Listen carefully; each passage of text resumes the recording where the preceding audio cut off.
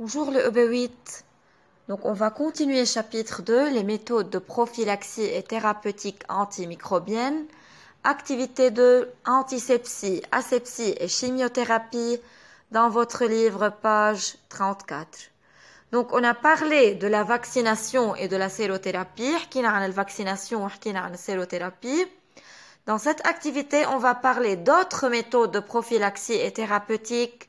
On va voir ces méthodes. Pour mieux se défendre, l'organisme a parfois besoin de certaines aides indépendantes du système immunitaire qui permettent d'éviter une infection ou de détruire les agents pathogènes après l'infection.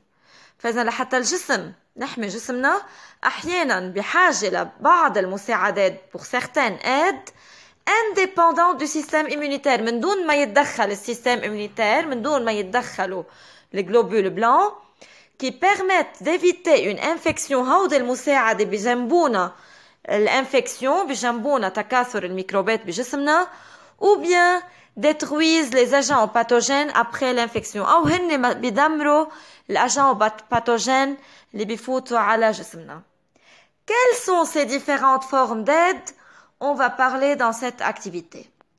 On va commencer aujourd'hui à parler de l'antisepsie antisepsie. La peau est une barrière naturelle qui est importante contre l'infection.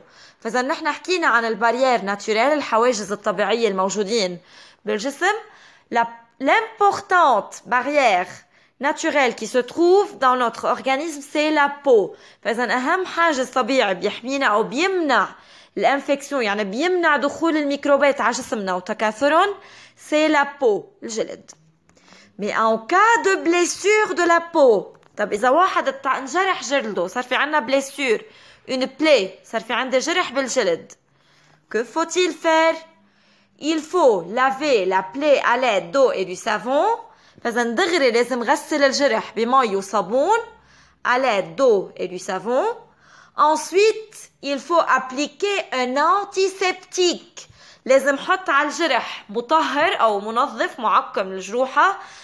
بنسميه antiseptique comme مثل ال éosine l'eau oxygénée l'alcool la teinture d'iode iode الموجود بالبيتادين.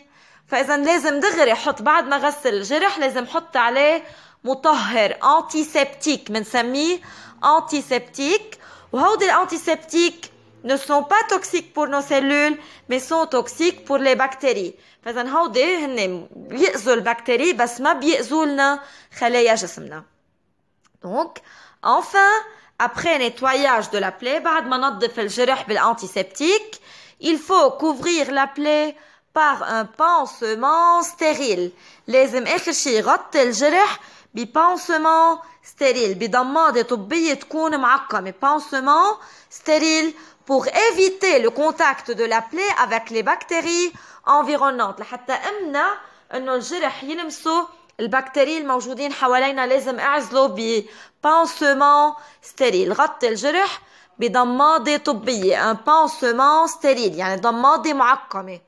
فاذا بهيدي الطريقة بنظف الجرح. أول شيء بحط eau savon مي وصابون ensuite un antiseptique مطهر.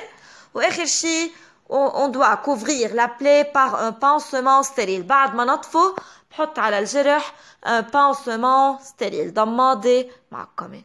Donc c'est l'antisepsie. هيدي الطريقة لتنظيف الجرح أو تعقيم الجرح بنسميها antisepsie.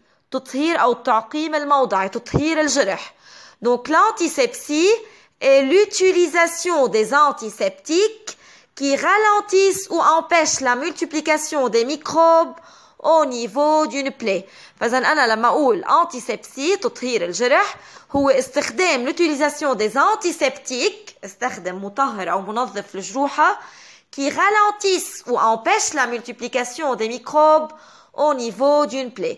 اللي هن بيمنعوا أو ببطئوا تكاثر الميكروبات بالجرح au niveau d'une plaie. لأنه نحن بنعرف دغري بس ننجرح دغري البكتيريا الموجودين حوالينا على إيدنا الموجودين على التليفونات اللي حاملينهم على الكتاب على الدفتر على الطاولة. كلهم دغري بيقدر عندهم القدرة يفوتوا على قلب جسمنا ويعملوا infection ويتكاثروا بقلب الجسم. فأنا كرمال هيك بس انجرح دغري لازم حط un antiseptique هيدا ال antiseptique ralentit et empêche la multiplication des microbes au niveau d'une بيمنع تكاثر الميكروبات au niveau d'une plaie.